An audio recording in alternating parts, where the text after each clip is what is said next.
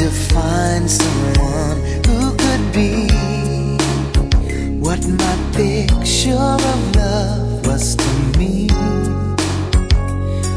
and you came along.